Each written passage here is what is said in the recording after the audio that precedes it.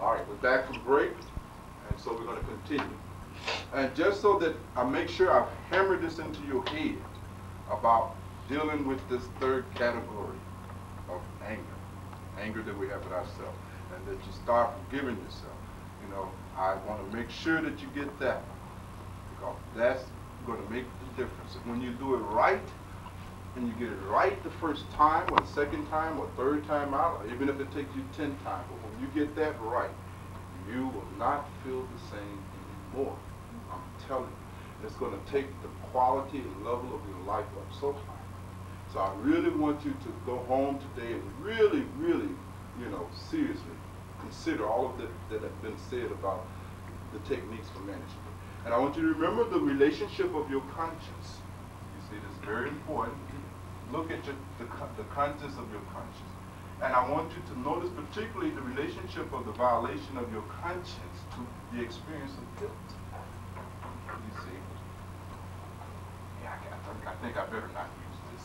Yeah, that's not coming out. But, but I want you to, to really look closely at that. Because we have guilt sometimes. We have so much guilt. Guilt is, is this feeling of being wrong, isn't it? Right? Fundamentally. You feel wrong. I'm doing something wrong. You feel guilty. But what is it that is dictating to you whether what you're doing is right or wrong? It's conscience. Your conscience. And none of that material is yours. At all. And this guilt is really a form of anger at oneself. So you want to give yourself some relief from your guilt. And we got a lot of guilt. We carry around a lot of guilt. And we need to forgive ourselves and free ourselves uh, from all these guilt trips that we are. Do that mean that we are excusing our wrong deeds, our wrongdoings? Are we uh, uh, trying to avoid being responsible for the consequences of our actions, even when those actions have caused another person a grievance or ourselves grievance? No. What we're trying to avoid is falling into a state of self-contempt.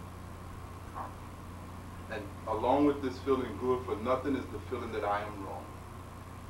Right? Something wrong with me. And I'm here to tell you that there's nothing wrong with you.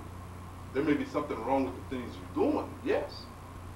But you, behind that doing, nothing wrong with you at all. So I want you to really give a lot of serious, serious thought to that.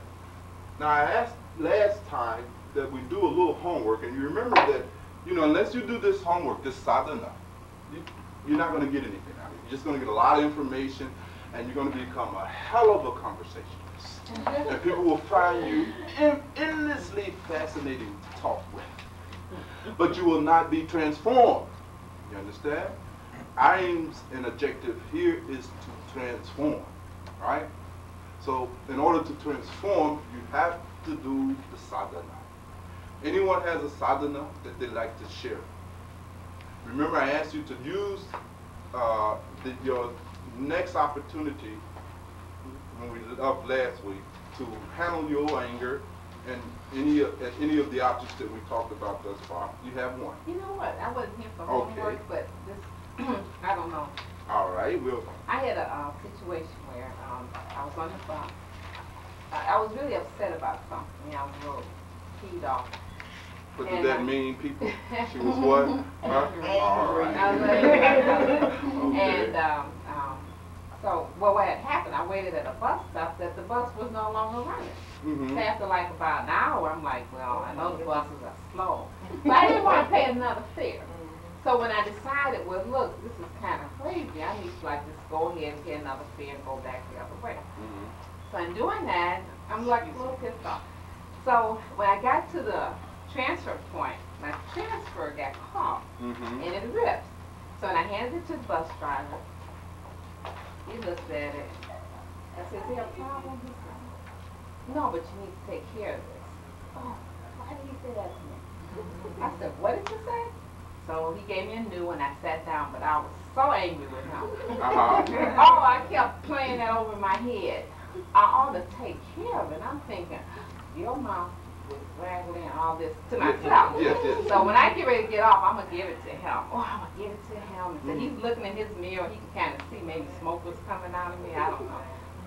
But as I sat there, I told myself, now wait a minute. Why are you so upset? You start asking a focusing question. Right. So I kind of played it and I said, now look, you trying to like, you know, get yourself together and, you know, you're not supposed to be falling into these traps, okay? So I had like maybe like a 12 block ride. So as I'm going through this, my anger is like diminishing a little bit. Yes. It ain't gone yet. All right. And I said, well, uh, now you don't know this man. Mhm. Once you get off this bus, you never have to see him again. So calm yourself down. When you get ready to get off the bus, you don't have to say anything to him. But anyway, I get near my stop and I got up and I told him, I said, you know, I was going to be angry with you. Uh-huh. But I decided that maybe you had a day like I had. And I'm going to forgive you. And he looked at me, because I know that brother knew I was ready Yes, yes, yes, yes, yes. And we both had a good laugh. Laugh. And you know, when I got off the bus, I felt so good because see, I could have gotten off and said what I had to say, pissed him off, and maybe he would have called me in the That's bus. right. That's right. so, um, That's right. yeah, I, I really felt pretty good. You felt good. Yeah. All right, you did a Yeah. homework. Uh, Yeah. uh, was it perfect? No, it wasn't perfect. Was it a complete fiasco? No. No. It was good or what? Good enough. Oh, Was good it? enough, yeah. it was good enough. And did you have a sense of relief Oh, you very much.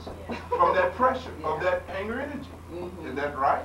You had a relief of pressure, didn't you? Mhm. Right? A relief. You gave yourself some emotional relief, didn't you? Yes. Huh? Didn't you? Right?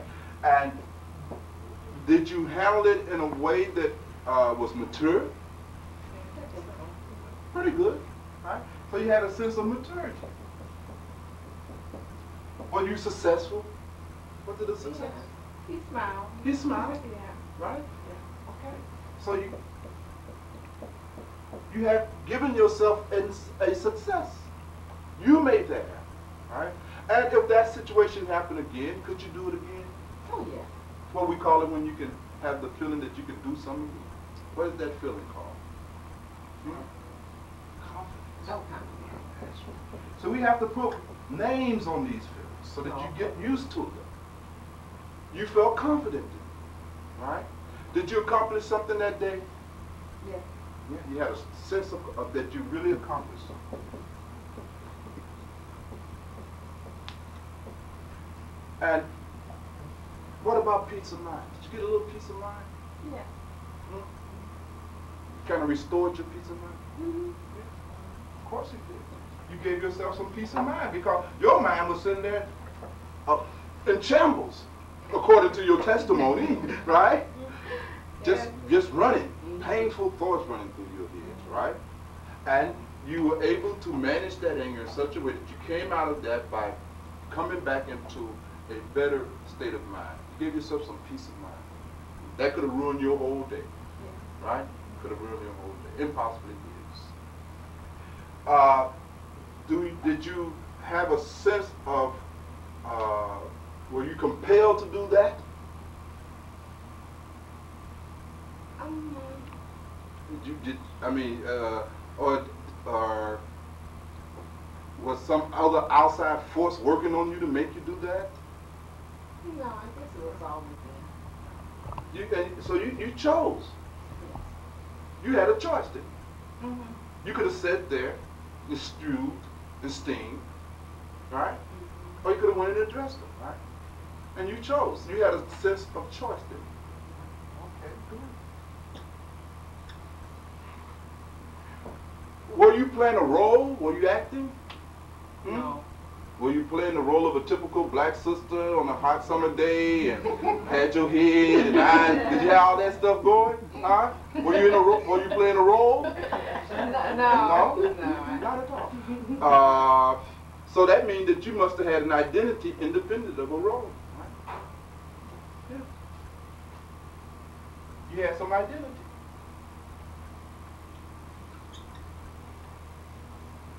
Did you, uh, would you be afraid to do that again? Oh, no. Wouldn't have no, wouldn't hesitate with you. What do they call it when you're able to do something without any fear? What is that called? When you're not afraid. Courage. You gave yourself, you did something that built your courage. It took courage. You gave yourself a, you, a, a, an experience of courage.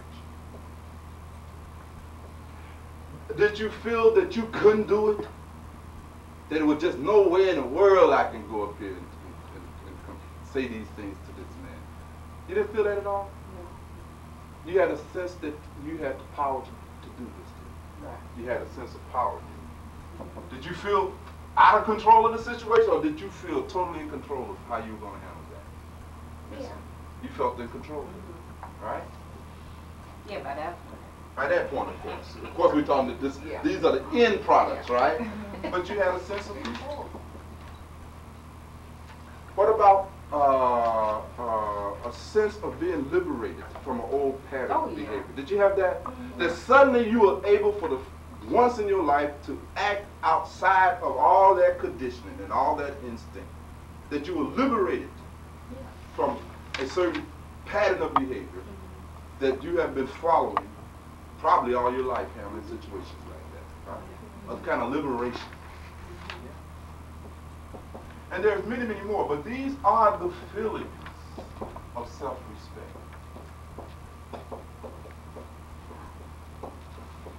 That's what self-respect feels like. And you have to get used to feeling like that. Did it feel good? Did you feel good getting off that bus? Yeah. You were proud of yourself, right? Of course. It's a legitimate basis for pride. Was it arrogance? No, not at all. But you were proud of the way you acted. You handled that right. What about your judgment? Did, was it perfect, absolutely flawless? No. Was it totally wrong? No. It was good of what? No. Absolutely. You had good judgment.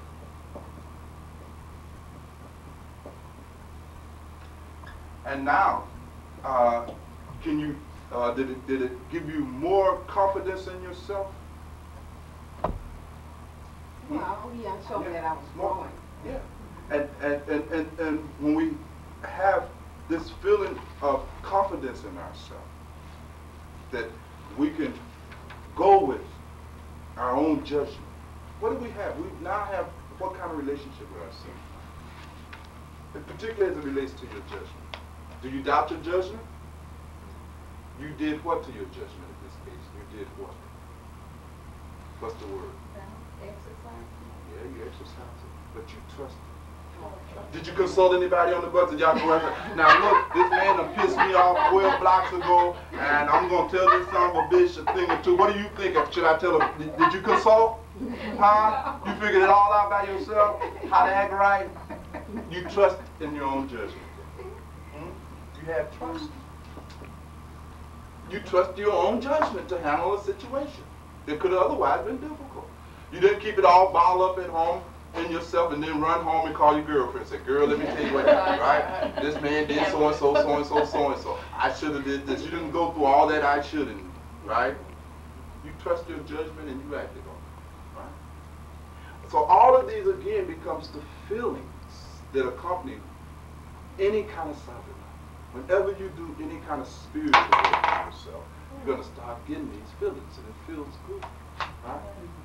Let's go a little deeper into that homework. Originally, what triggered her anger? What was the triggering thing? The, the transportation. The transportation, right? So some wasn't going her way, was it? Mm-hmm. Right? So you, you so that triggered her. The, the bus systems are not running the way they're supposed to be running. Makes me angry. Right?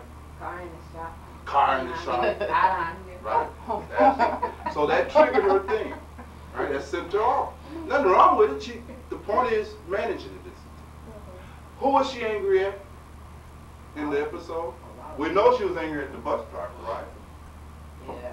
Who else? Probably the car dealer herself. The car at the car dealer? Huh? right. You right. made everybody. You was angry at the weather? yeah. Abstract anger. That's abstract anger. Yeah. Right. She, she had everybody. Huh? And was she also angry at who else? In what way? She should have known the bus wasn't running during those hours. Right, and how did that make her feel about herself, Lieutenant? Not knowledgeable. Not knowledgeable? What is About the the bus colloquial, what is the colloquial term that we use? Dumb. Made her feel stupid. She was standing there feeling stupid about herself, right? And the longer she stood there, the more stupid she felt, and the more anger built up. The only thing that could rescue her from her stupidity was the bus coming. And it wouldn't come. Right? And then she told transfer to add to the feeling, right? right? Right? So she, she, she and, and so she was angry at herself. And your parting words to that uh, bus driver was, No, maybe you had a day like I did. and so actually you were forgiving yourself. Yeah. I guess that's what You, you, you forgave yourself, right? For all of that stuff. Now that, that's good, because that's the kind of stuff we want to do.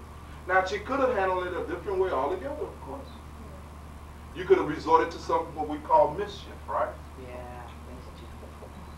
Mischief, we define that as doing that which does not need to be done. It don't need to be done. Reality does did not call for it. It's inappropriate. Right? So you could have got into your mischief, couldn't you? Right? But you disengaged from your own mischief. Right? Because you were sitting there and your mind was full of some mischief or something. You were plotting ways to do something that didn't even need to be done. You didn't need to go up there and cuss them out. You were trying to figure out now how, what, what, what I'm going to do here. But everything that was coming to your mind fell in the category of mischief. Mm-hmm. Right? Something that did not even need to be done. Right? And so you have to disengage yourself from your own mischief. Right? And was the bus driver being a little mischief too? Did he do a little mischief on you? Mm-hmm. That- and that really just and and remember there's positive and negative behavior, right? And mischief is negative behavior. If he had responded positively, you wouldn't have had no problem, right? But he did. So he gave you some negative behavior that you had to manage, right? Because that made you angry. Don't mischief make us angry? Whenever people doing something that really don't need to be done, that makes us angry. Of course. Now, what do you think uh, are the prospect of people stopping mischief? Very low, isn't it? Yeah, because it gives you a sense of relief, I have to admit. I got some relief from doing, I mean, it doesn't Yeah. need to be done, but when I do it, I feel like. Yeah, yeah, yeah. You feel a momentary rush and sense of relief because you've gotten some revenge, right? You've gotten some revenge. Usually following your act of revenge, sooner or later, you start feeling some guilt about I did something that was stupid. You know what I mean? I shouldn't even done that brother like this or said this to that sister. You know what I mean? You, however uh, quiet that realization is, it's there. It comes with the territory. You know almost instantly that you're acting out of order, that you are out of my heart. You see? Whether anybody else know that you're out of my heart, it's, it's irrelevant. You know you're out of my heart. You see? And that registers somewhere in the deep recesses of your own psychology, your psychology. So, in any case, that the, the bus driver was up to some mischief too. He said something that really didn't need to be said at all, right? And that just compounded the situation. So you got to handle your anger at yourself. You got to handle your abstract anger at the weather, the car dealer, the car, the guy that sold you the car. you know, I mean, you got all these issues floating around, right? And then he adds some more with his mischief, his nonsense. You see, and that was the straw that broke that camel's back, right?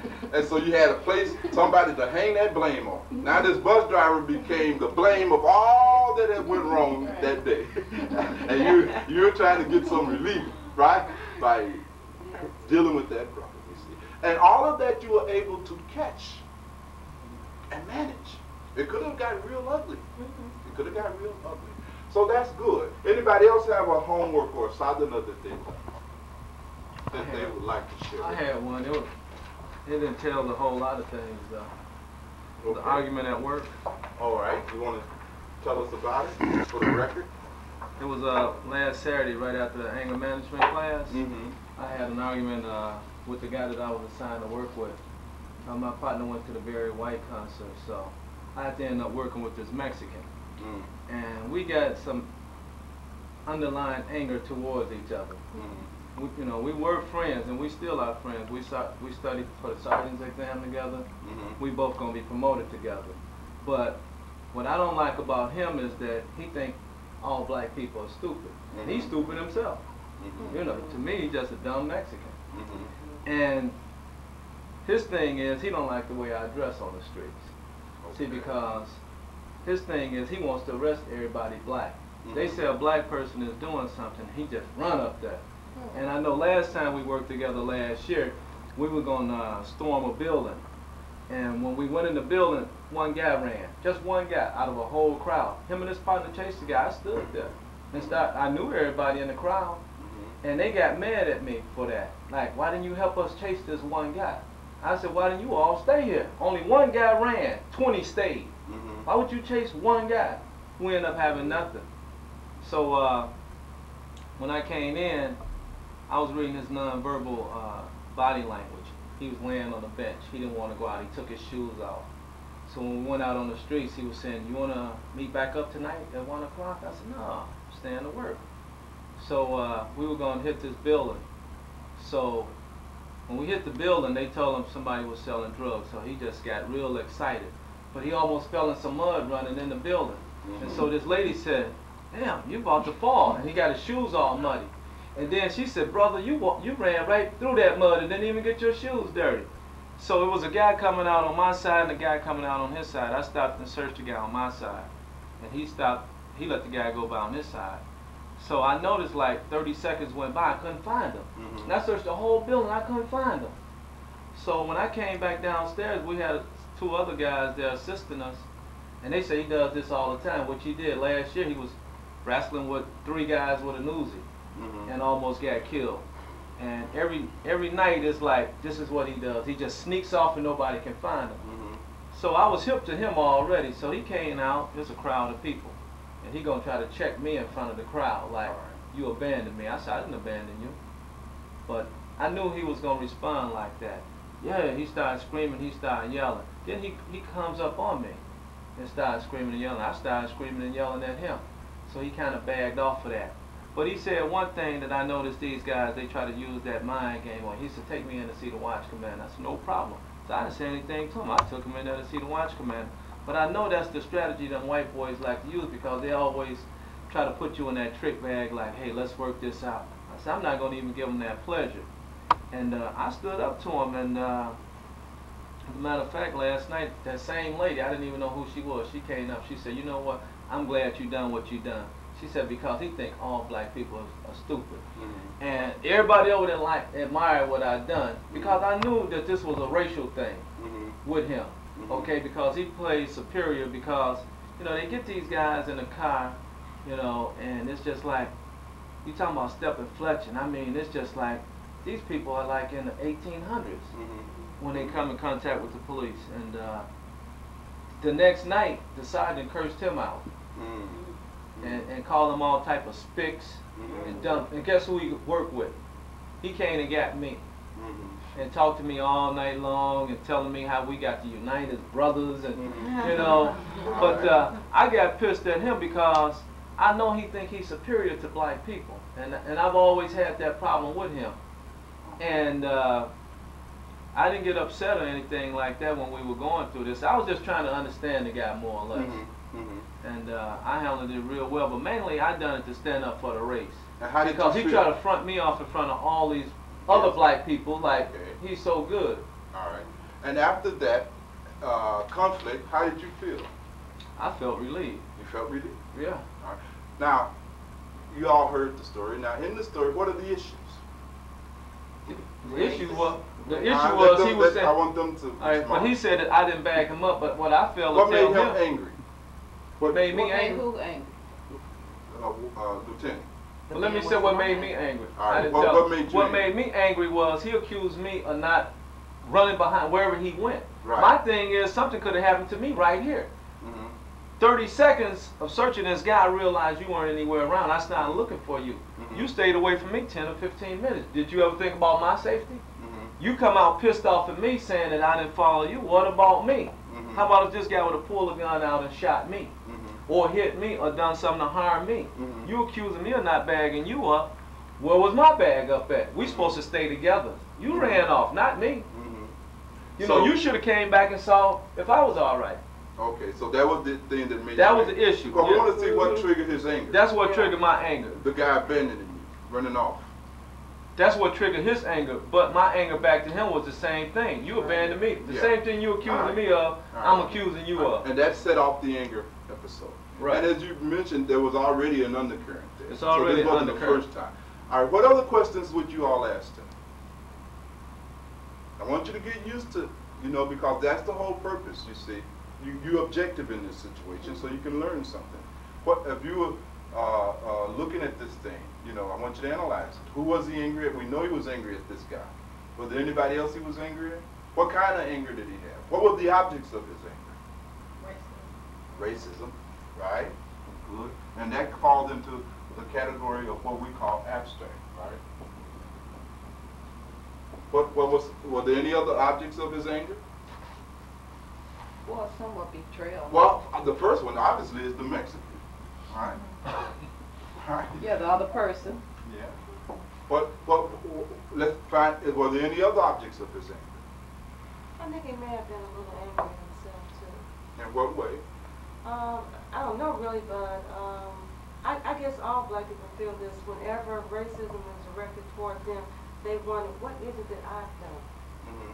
to to trigger this? Is it something that I'm doing that's that's uh, off key? And if it is, why? I mean, what am I doing? Why is it always happening to me? Because you said this guy has done it a number of occasions. So um, I'm thinking that perhaps maybe you've internalized it a little bit. You, you feel that, that maybe you've done something that that may have warranted his his, his acting in the way that he's acting.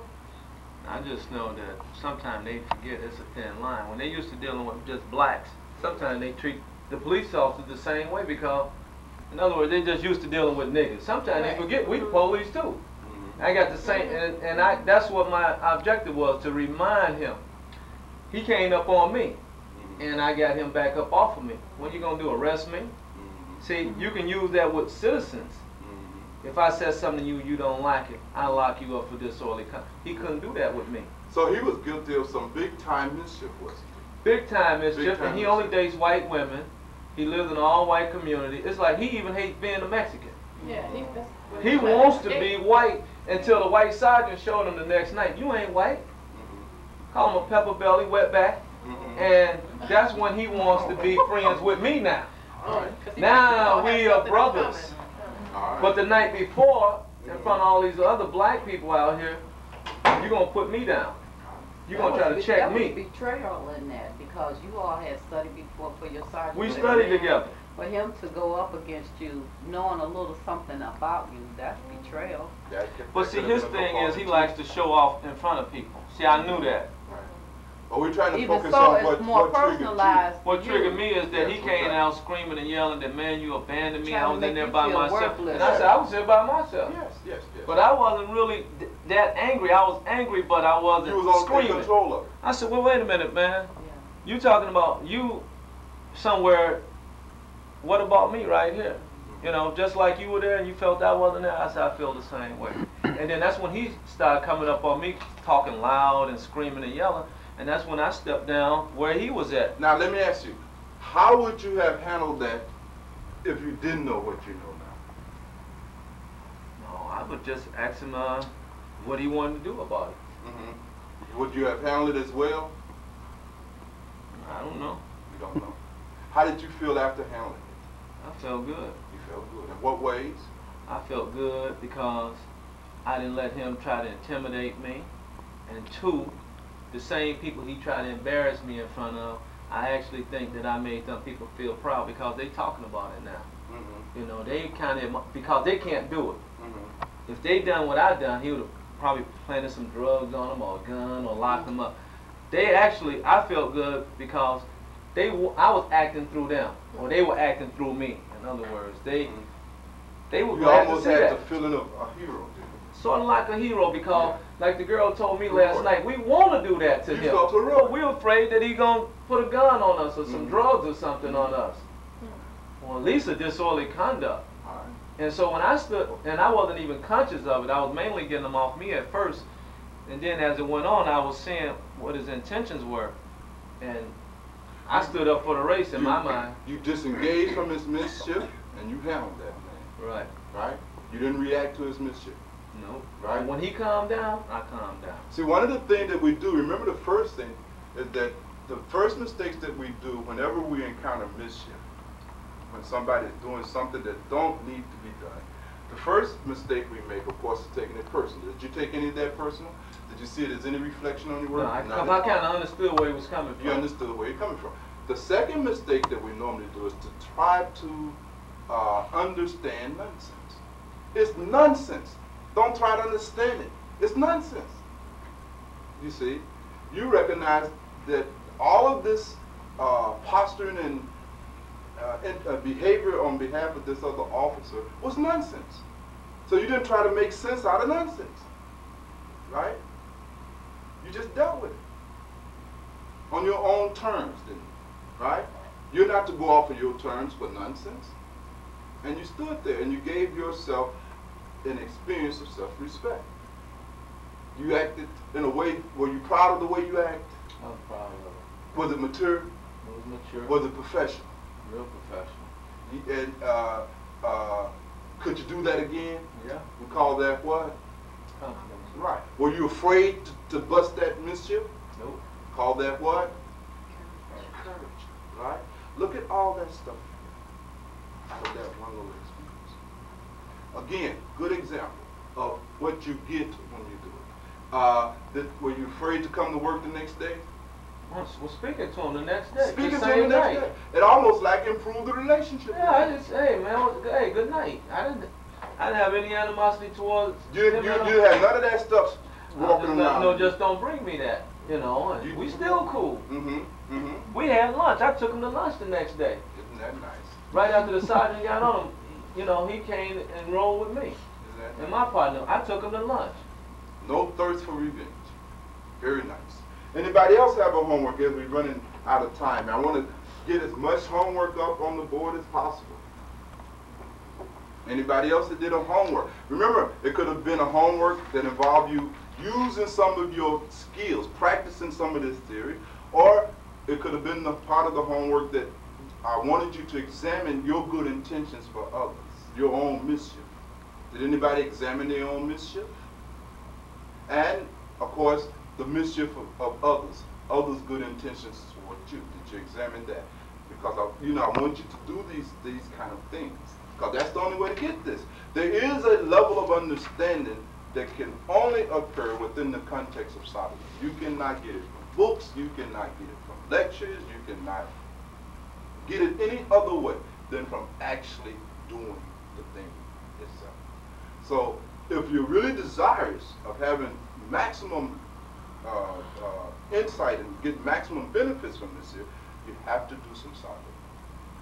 So uh, you don't have to do it perfect either, because you ain't perfect. So we don't expect perfection. Did anybody examine any of their good intentions that they have for other people? Then let's, let's, let's, let's, let's look at some of the good intentions that we have for other people in a general way. What are some of the obvious good intentions? Who is, for instance, who is the most likely uh, objects of our good intentions? Kids. One, children, right? Who else? Spouses, of course. Parents.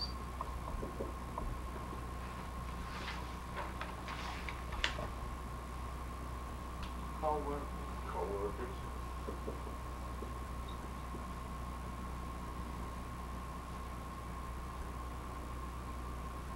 Some other uh, people whom we find ourselves in relationship with. Friends. Friends, of course. We give our friends all kinds of good advice, right? Good advice is a form of a good intention. Please make a note of that. The giving of advice is a form of good intentions. And let me add one other thing. What makes it so enjoyable when you give other people advice, trust me, I know about this, huh? And that it gives you an artificial sense of superiority over the person receiving the advice. It's immensely enjoyable. And you have to be very careful of that, right? And you have to interact with your friends and all these other people that we're putting up here on the board with real intentions, right? And what is the distinction between good intentions and real intentions? The difference is that remember, good intentions are a form of mischief. It's that which don't even need to be done. Fundamentally. When you interact with your friends within the context of the reality of the situation, right? That's a real intention. It's a real intention. Friend comes to you, they're, they're, they're broke, they have no money, you give them some good advice. Well, listen, won't you get you a job and go down here and do that? But that don't, that needs, that's not what needs to be done. The friend is broke, they need some money, give them some money. It's a real intention. Because it deals directly with the reality of that person's situation and circumstance. That's what needs to be done. Uh, as opposed to a lecture. The lecture is, is a good intention. Right? And the good intention, as we said before, disguises our ambition. And my ambition, its goal is to not have my money go from this pocket to that guy's pocket, right? And to achieve that, let me create a great lecture, right? A great lecture. Give him some good advice, but I'm not going to give him no money. I want to keep my money. You see?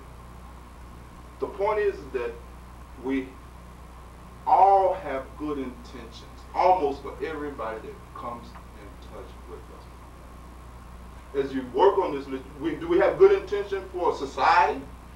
Of course. You have good intention for other black people? Of course. You know. So you have a good intention for your ethnic group, right? You have all kinds of good intentions. Right? And good intentions are a form of mischief. It is that which does not need to be done. Now, as you look over your life and you look within the context of your relationship with your children, how much of that interaction that you're having with your children don't need to be done? How many of the things you are saying to them don't need to even be said? That is pure mischief. Hmm? And you have to look at this. Because the, our whole ideal is that, and we can look at it because even if we find ourselves guilty across the whole spectrum, do that make us worthless human beings? Of course not. Absolutely not. Yes. Can I ask a question? I don't know if this would be good intention. Okay. But uh, this morning, my son told me he wanted to go. Yesterday, he said, I'm going to go look for a job at McDonald's. Okay. I know I can go. And I saw a friend of mine. He said, be there about 9. So I went in his room at 9.15. He's playing Sega Genesis.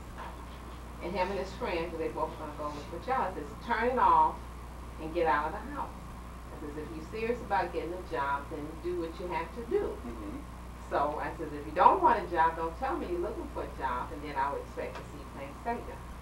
He like, little, you know, Mhm. they, you know, but they laugh, and I, you know, I Mhm. can't hear. Was that a good intention or was, Was it your idea for him to go to McDonald's? Oh no no no! He had decided that that was what he wanted to do, but it angered me that he, you know, had made this decision, and I go in there and they playing the game. Mm-hmm. So I said, first things are first. Mm-hmm. Mm-hmm. Well, that's interesting. That part of it is interesting. You know, why did you get angry? What angered Well, I wasn't like angry, like you know, but I, I just thought that if you say you're going to do something, You want to teach him first things come first. If you're serious about a job, you don't wait until 12 o'clock.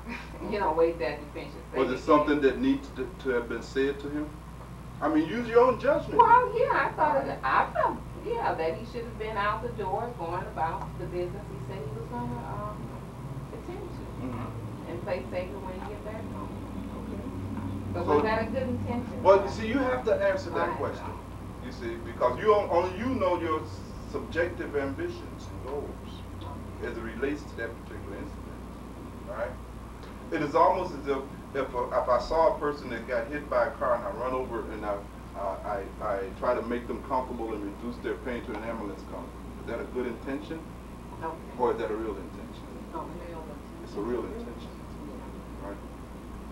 But if I'm standing on the corner and I'm running around screaming and I'm said that I'm going to go downtown to City Hall and I'm going to protest because there should be more ambulance just cruising the neighborhood looking for these random events, damage, and they treat black people like dirt, right? That's not real. That that has nothing to do with the reality of the situation, right? That's not what was needed at that time. I needed to run over there and help that person, not run the city hall while the person in there bleeding. You see? So again, you can tell whether or not you are perpetrating a good intention by looking at what does the reality of the situation call you, and to do that. You see? And that's how you know. But we can begin to examine that. This is a big one almost all of the conflicts in, in, in these kind of um, spousal relationships is rooted in. You know, we all bring certain uh, good intentions into these relationships, you see, and it causes the other person hell. Right? Causes them hell. We have good intention for all of the people that we've listed here. How do we deal with our good intentions? That we have for other people. Mind your own business. That's the best thing to do. Well, does it mean that you withdraw and you cease to be a uh, contributor to anything? Because remember, I said there's two sides of life. There's the side where you are making a contribution to others, and then there's the side where you are just useless. Is the solution to good intentions the solution to good intentions simply becoming useless to other people by minding your own business? Is that a form of uselessness? What's negative? Hmm? I think that's negative, being useless. It's right. It's negative. It's meaningless. So we don't want to throw the baby out with the bathwater, That's so what's wrong. right?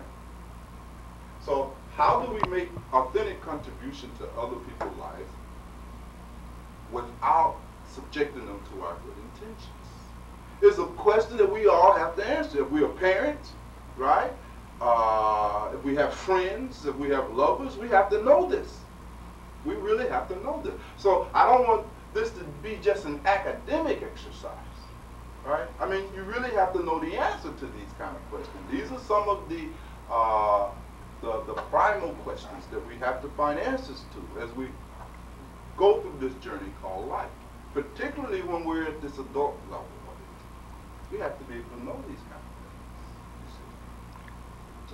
If it concerns our children and our spouses, I guess we have to just talk to them, communicate with them, and find out what their desires are, so that we are uh, inadvertently co-opting their Mhm. dreams. Mhm. Uh, we can want certain things for our kids or even for our spouses, but if that's not what they want, then we're not, we're not helping Absolutely. them way. The first thing, to, in order to get into a, a, a posture where you even can contribute, you must know what the, the uh, the other person's goals are. Their goals, aims, and ambitions. How are you going to make a contribution to a person? You don't even know what their goals, aims, and ambitions are. I ask people all the time. They come in. Uh, you can and you can put the question to yourself. What were the original goals and ambition of your husband or your wife? And most married people cannot answer that question. They really can't. They have no idea because they've been on the useless side of the relationship, the egotistical side of the relationship. What you can do for me. They've been into a, a posture of me. They don't know what the other person's goals, ambitions, and aims of life are. They talk. They don't have a clue. Therefore, how can you make a contribution to, to, to your mate? So you're absolutely right. We have to have good communication. It doesn't mean do you have to talk 12 hours a day? Absolutely not. It's not how long you talk, it's the quality of information that is transferred in the conversation. But we have to know the other person's goal that we are in a relationship with. And then we have to make a contribution directly related to the reality of their goals, ambitions, and aims. Does that, does that make sense to you? You know, Bob, uh, with the ethnic group, and, and, and that, that one gets so tricky because black leadership, uh, on one hand, you could probably say people like Jesse Jackson and Al Sharpton and Farrakhan, they in a very well-meaning way They have want good intentions. yeah, for black people. Yes, they do. But you can wonder sometimes because of their methods, just how authentic those intentions Politicians are the Yeah. traditional Bastilian of good intentions. Hence, almost everything they touch, they mess up. You see, almost everything they do turns out wrong, turns out counterproductive to the welfare of their constituents. Very rare would you get a politician that is not uh, suffering from, uh, you know, uh, overwhelming good intentions. You see, they don't have real intentions for the con- for, for their, their constituents. So you're absolutely right, and uh, uh, and that's what I meant when I said that all of us have, to some extent, good intentions for the rest of the race. But why do I want you to stand up to the white man? So that I could benefit. You understand? I, I myself am not going to stand up because it's too dangerous. You go protest Martin Luther King so that I can ride the bus. You see? I'm not going to do that. Right? So we disguise, again, even at the level of race and the political reality that confronts us as black people, we disguise, you see, our own ambitions, goals, and desires in the form of good intention for other black people. Or black people really need to start uh, shopping with other black businesses called, I want to open up a black business and be the recipient of this, this, this, this kind of trade. Right? So who do you find really preaching that part the most? Businessmen. Black people need to spend more money with black people. They might be speaking a reality, no doubt about it. But look at the motive. You see, they stand to be enriched. So these good intentions always fail. Hence, look where we're at. We're in the same situation. Virtue at a standstill, politically, economically, socially, across all of the various dimensions of society. There's very little They always fail. Always fail. Good, good intentions. Because they're never really for the other person. Hmm. Remember, good intentions looks like they on this side of life, the contribute, the contributing side of life. Good intentions are always on the useless side of life. You see, with no exception, because they're not even related to the reality of the needs of the individual at all. Period. Why do I want I want my daughter to become a doctor and, and, and make five hundred thousand dollars a year? Is that does it have I paused for one minute to, to consider her goals, ambition? I impose that on them. Right? For their own welfare. But I get brag look at the bragging rights I get. You know, my daughter is a, got a doctor she make fun of that. Your, what your daughter do? You see? I got some bragging rights. You understand? It's, it comes down to that. You see? So it's, it's, it's, it's always, good intentions are always on the wrong side of the equation of life, of a meaningful life. Remember, I define a meaningful life. Life is meaningful only to the extent that you contribute. Uh, Maharaj used to talk about seva. Seva, service. You can tell the degree of a person's spiritual attainment by the degree of seva that they render to mankind. Find no seva, you find a person that has no spiritual attainment whatsoever. Period. And in this seva, you will find there's four levels that you could contribute it. The Lord's, of course, is material. It is the Lord's form of contribution that you can make to another human being at the material level. Because it only impacts on the individual on the peripheral of their being. Hmm? So you can give another individual some food, clothing, and shelter. And that's good. Don't, don't, don't misunderstand me.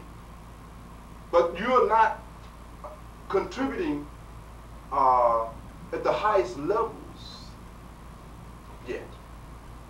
So when we say, well, I want to give my child some food, some clothing, and some shelter, and that's the whole end of your parental aim. That means that you're only dealing with your own child in the most superficial level of their being. Nothing wrong with that. And I'm not saying that you shouldn't provide your children with food, clothing, and shelter, but if that's all you're going to contribute to them, then you're giving them very little with respect to what you could have given. Your contribution has been of the lowest form. That the material.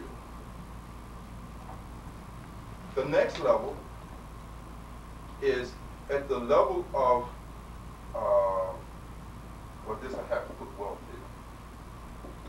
Materiality and wealth, the lowest levels of contribution that you can make. The next level that you can make a contribution at is at the emotional level. You see? At the emotional level. Give them some feeling about themselves. Give people a good feeling about themselves. Why are you always giving people bad feelings about themselves? You're always critiquing. You're always finding something wrong. Why are you giving them that down trip? If you're going to give them something, let give them a good feeling about themselves. Particularly when you know that their whole environment might be creating the counter experience of self-contempt. You don't need to be adding to the experience of self-contempt. For what are you adding to people's experience of self-contempt for? How are you helping anybody? By reinforcing their feelings of self-contempt, reinforcing their feelings of inadequacies. You see, reinforcing their feeling of wrongness. You know, uh, you did this wrong, Linda, you did that wrong, you got that wrong, you didn't do this right, you didn't do that perfect. How the hell is that helping you? That's not giving you anything. It's, in fact, it's taken from you. Isn't it? But if we can give somebody just a kind word, some praise, then you're contributing something that that person need and appreciate because you may be giving them the first praise and kind word they ever received in their life. Hmm? They've been starving for this kind of affection. You see, in love all their life. No one has validated them. No one has told them that they have value in spite of their imperfections, shortcomings, and faults. No one has acted like they. I'm not saying just tell them. Act like they have value. You understand the distinction? I don't want you to get clever because I know you people are clever. You'll get the rhetoric right. I'm not interested in the rhetoric. I want you to act like they have value and worth. Put that in your actions, the way you interact with them. You have not helped anybody if you say, well, I can tell you that you got a headache. How does that help that headache? You understand? You have to have a real intention for that person. So that's the next level of contribution that you can make to another human being and to mankind in general. The third level, of course, is at the mental or intellectual level. Knowledge. You can share knowledge. When you contribute a knowledge to people, you've given a great thing to the person. The gift and sharing of knowledge is way superior to just the giving of materiality of wealth. If you're in relationship to your children and if you haven't given them any emotional stuff, if you haven't given them any knowledge, what kind of parent are you? Yes, you can say, well, I paid for their tuition in school and I bought them gym shoes for 21 years. I did my job. Nonsense. Absolute nonsense. You did nothing in comparison to what you could have done as a parent. And in the obligatory role of a parent. Because you are parenting to the degree that you are moving beyond giving your children just the material things. That's how you measure. That's how you know whether you got it right. If you haven't gone beyond the level of, uh, let me give them some clothes and some shoes and a place to lay their head and some bus fare to go to school. If you haven't gone beyond that level in your parenting, you don't have a clue as to how to do this thing called parenting. This thing is a great art. Hmm? So you have to be able to move. So when you're able to give knowledge, that's even higher. You make it even more of a. That means your life is becoming even more meaningful. And you can remember, to the extent that you are able to make these contributions, to the same extent you appreciate it. People that you are able to make a contribution to on an emotional level will always appreciate you more than people that you are simply able to make a contribution to on a material level, with no exception. And people to whom you can share knowledge and give knowledge will even appreciate you more. And of course, the highest one is the spiritual the spiritual contribution, which is just love. Just love.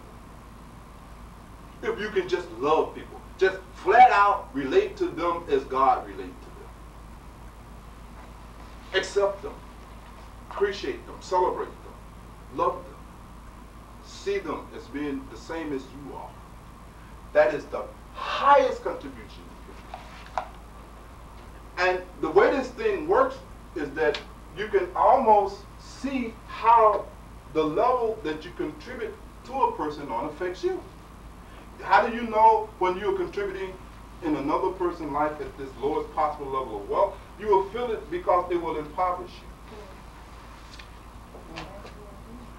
I got hundred dollars, I give you fifty, right?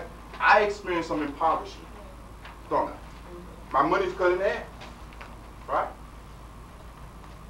In. So even as I help them, I, there's an element of resentment, right? An undercurrent because it's costing, right? If I'm giving them this compliment, this feeling, notice now, I don't lose anything. Don't gain anything, but I don't lose anything. And these two categories, when you give your knowledge and, and you give this praise and respect to you don't lose anything. You don't gain anything, or do you? Yes, you do, don't you? All right? Because when you give them that kind of respect, you get that respect, don't you? See, it's a giving where you gain. All right? I respect you, you will respect me. Look what I gained. I didn't lose anything. I gained in that process. And that transaction, it was a profit, wasn't it? And I give knowledge. Do I lose any of my knowledge when I give you my knowledge? None. I don't lose one iota of it. Right? No loss in that transaction. You see? In fact, if I can trigger and uh, stimulate your capacity to, uh, to acquire knowledge, I will be the beneficiary of that. You'll eventually bring some knowledge back to me that I didn't have. Look at that. It's beautiful.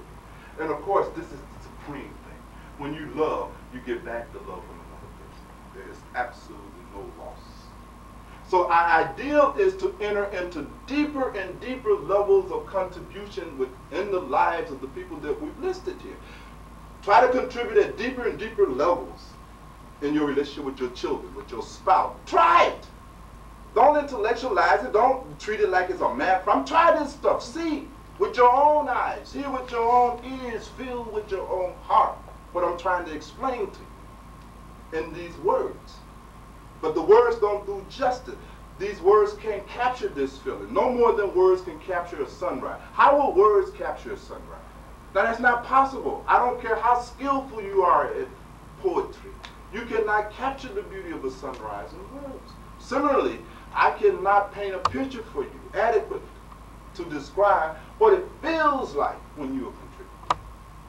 You feel meaningful. You know how meaningless you feel now? How you feel life is your life is meaningless? Because it is meaningless. Understand this. You are feeling that your life is meaningless because it is meaningless. You are not contributing. Sometimes you're not even contributing at this level. Some of us are in a relationship of no contribution. It's ugly. Ugly. But deeper you contribute, automatically the more meaningful your life. Means more. You feel it because you have become more meaningful. You see, when a Jesus who made his life meaningful is no more. Time itself is split. You understand? But Bhagavan Rajneesh beautifully says in one of his books that this advent of a phenomenon like Jesus Christ is so immense that when he is no more, the creation is different. The flowers do not bloom the same way after Jesus as they did when he was here because that energy that was Jesus was permeating the universe. It is said about Tathagata Gautama, the Buddha, that his compassion, his compassion, which is in his contribution side, his compassion, his ability to give to people was so immense. They said that there's never been a mystic who have arrived on this planet who was more compassionate than Lord Buddha. His compassion was such that it radiated a field that spread 24 miles in all directions. And anything that that Buddha field fall into will spring into full life. If the Buddha field moves and it crosses a dead plant, that plant will instantly blossom into life. Such is the power of making a contribution at that level. A Buddha can take that person that is depressed and just bring that depression out because they contribute something to them. You understand?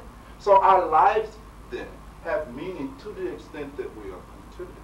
But look how we approach approaching life. On the useless side, on the me side, on the egotistical side. And so when you die, the universe will say, good riddance, bastard. You know, you've done nothing no way. It was a waste of life on you. What did you do with your life?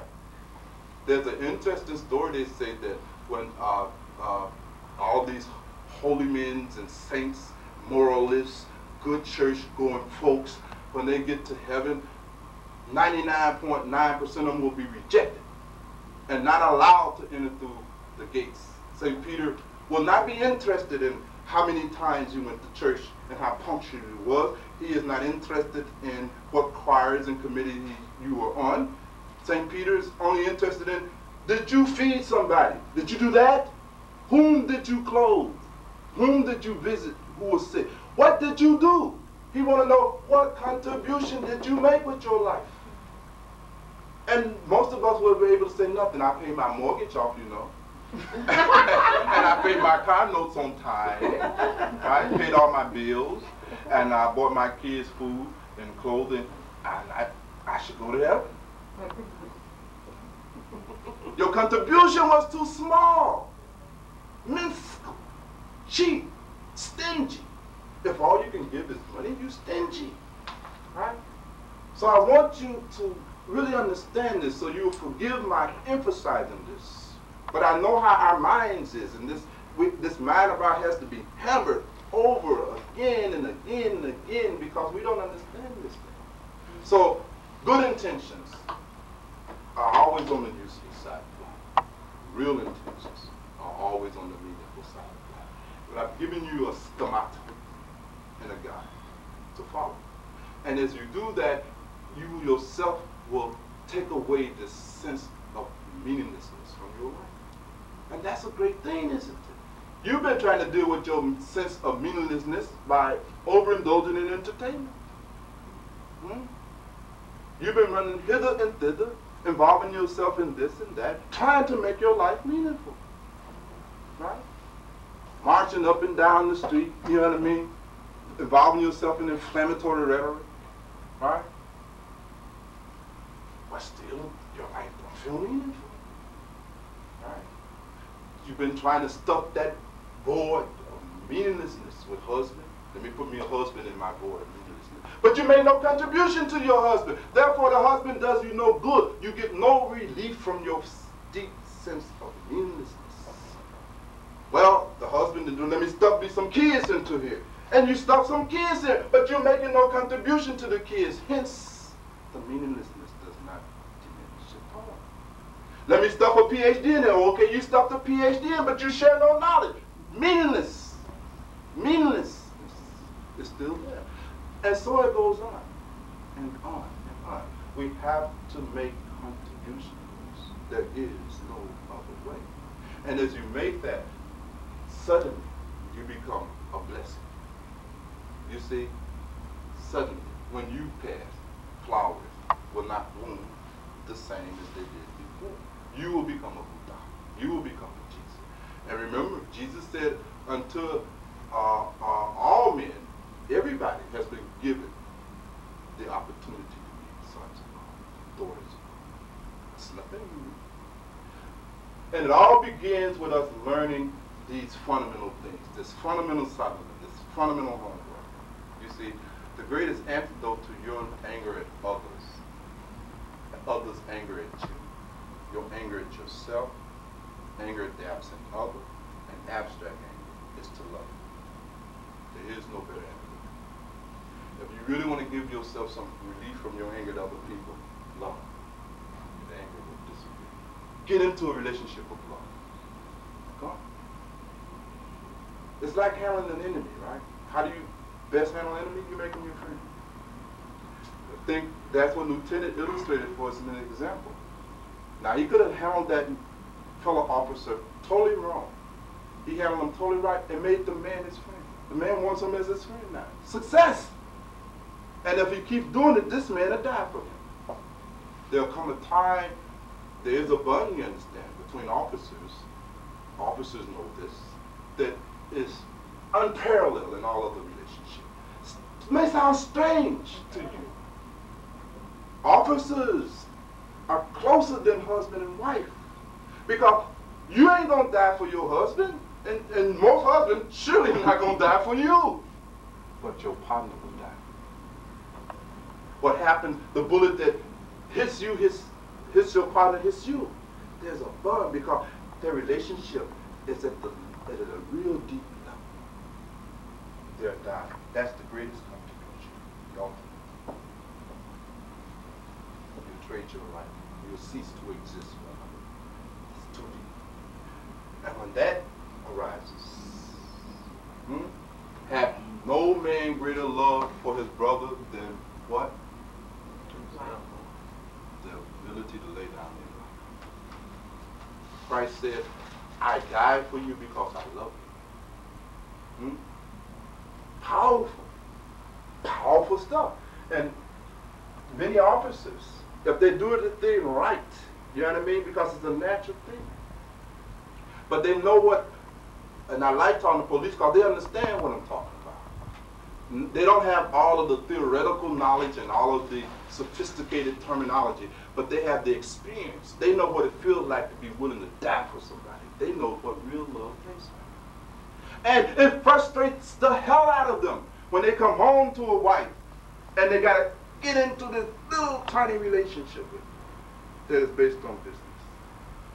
When you do this for me, you- they can't handle that. And many officers, not knowing what's going on, blow their brains out. They have twice the level of suicide because they they see themselves. I'm doing all this good.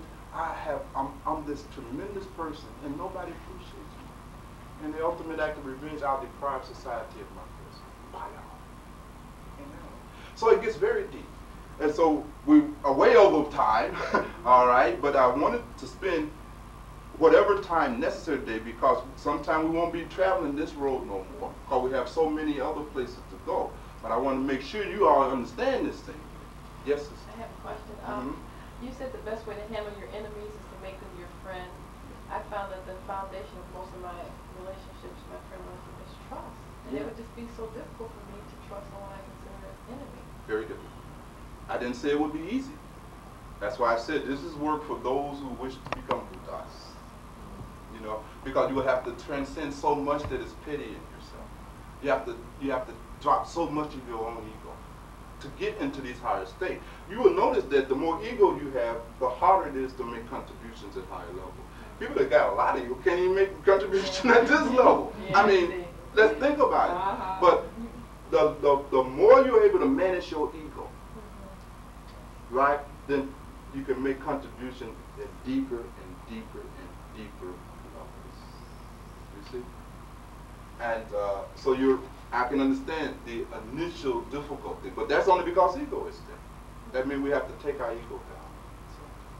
Well, then you're afraid of being a fool too. Of course, people will but who's afraid of being a fool? You. You put yourself out there like that. It's that ego. You want to maintain the part of your ego mythology that said that you are so sophisticated enough, you can't be no fool. Not me.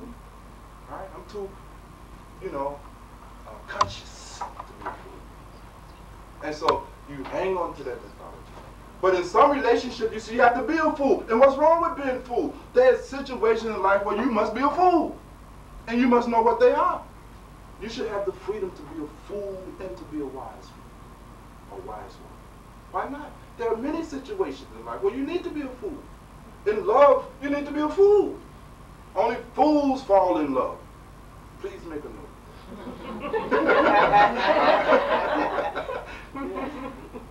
so, any other questions now? Uh, why Yes. is it that people who have big egos seem to always want to impart knowledge? Well, it's to give them a sense. You have to be asking the right person. Right? I've, I've, I've traveled through all of this here. Hmm? Because you see, sister, the when knowledge, I mean, remember I'm talking about at these levels of, of sharing. One of the things that you will find out if you are able to get to a level. Now, people that, as you say, have big egos that want to give knowledge. First thing you have to see, do they even have any knowledge? There's such things as big egos without knowledge, right? Obviously. So most of the big egos that are giving knowledge, if you look closely, they don't really have any knowledge. So we're not even going to deal with them, right? The other form of the big ego with knowledge. Why do they do it? Because the pleasure of, that it comes from giving knowledge is immense. It makes the sex act look. These are people that rather give knowledge than the screw. Do you understand me? Mm-hmm. Now this is deep. Mm-hmm. Because you can never fathom that. Ain't no way in the world you would rather spend an evening with a woman, giving her knowledge. You want to spend an evening with a woman in the hotel. Or she want to spend an evening with you in the motel. That's where you were at. No knowledge. But a person that, even if they have this out of blown ego, but the sheer pleasure that is derived from the act of contributing knowledge is immense. I'm glad you raised that point, Sandra, because I want to point out the fact that as you are able to rise in the hierarchy of contribution, the degree of pleasure increases. I already pointed out how there's an impoverishment that takes place based on the, the lower levels. Similarly, as you move up in the hierarchy, the, the degree of pleasure and satisfaction. Now, if you give your kids some money and you give your wife some money, you grumbling, man, damn, man, damn. Ain't no joy in it, right? If it goes over a certain amount, hey, you know, it's actually painful now. You know, there's a certain amount of money that you can give another person that'll cause you to have a heart attack, right? It, it hurts you. So you only can, it cuts off. But as you can, but as you go deeper, to give giving of praise, the pleasure that comes from that is so much superior to the pleasure that comes from giving money and so forth. And at this level of knowledge, Sandra, ah, the pleasure is so immense that they can't step themselves. They really can't. They can't manage it, the giving of knowledge. It takes a while to learn how to manage it. You know, you notice yourself, whenever you come into some knowledge, there's automatically something in you to make you want to run and tell everybody. And it's not always ego. You see, sometimes it is, but not always. Sometimes it, you just can't contain it. It bursts out of you. What can you do? You have to share. And you, you and, and, and the hardest thing is to shut your mouth. And it takes a long time to get enough discipline to be quiet. Maharaji reduced the whole path to something very simple. Eat less, sleep less, talk less, and sex less. The path, the great path. And the hard part is talking less. Because how do you keep quiet when all that stuff is there? It's too much. It's just too much. And it takes a great sadhana, a great discipline to hold it. You see. That is a small answer to your question. It's much deeper, but it's a beginning. And I know that you have enough of this here to find the rest of the pieces, okay? All right. Anything else? Because we won't come down this road again. When you say, uh, you know, like how you handle anger, what about if you get handled in a good way, but Mm. later on, you, you know, you, you sit down, you analyze it and write about it. Mm-hmm. If you, I mean, that's not the kind of examples you want, right? Yeah, that's good too. That's homework, Okay. right? Because what you're doing is that you are critiquing yourself. You're saying, "Oh, I could have did this better. You know, maybe I should have did that." I'll get it better next time. You stand on the on the on the path. Your aim and the and objective is to get this thing better and better and better. That's a homework. Okay. That's a homework. Well, even when you realize your mistake, that's a homework. Even if you screwed it up, but you are aware and conscious of that, that's a good homework. Yeah, so, so, so you've been doing homework? Yeah. All right. You took, you didn't know I thought it had to be a, a success. No, that is a success. I had one. You had one of them too? Yeah. That's a homework and it counts because it, the self-awareness is there. Right, okay. Right? Before, you would have never even looked at it. Mhm.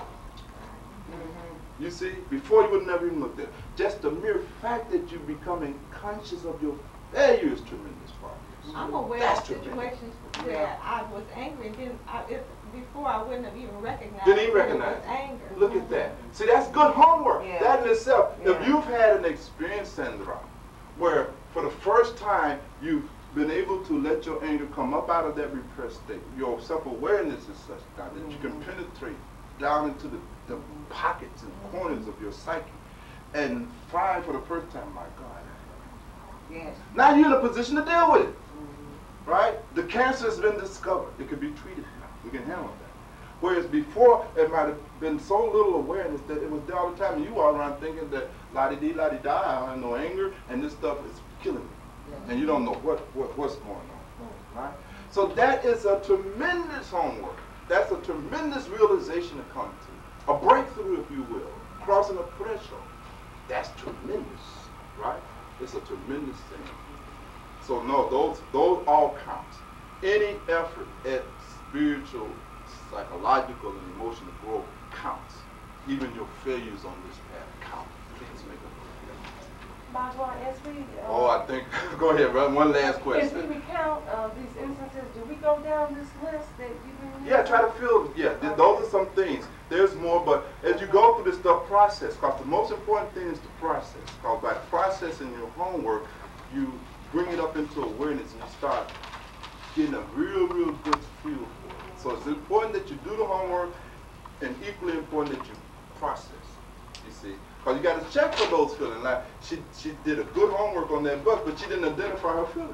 She didn't know how much she got up. She knows she was feeling good, but I want you to really have a full awareness of how good. Because that motivates you to do it right there, do it again, though. When you know that, my God, you might go out and say, well, can you make me angry? Please, will you do something to make me angry so I can manage my anger and get this feeling again? Yeah. Nothing wrong with that. All right, I think we've gone over. Homework? Homework, no, uh, well, we won't have, Go we back. won't have a, a a session next week. Oh, all right. But do the homework that you didn't No do this week. week? How about that? Well, No set time, William? Uh, no, sir. No set time. Okay.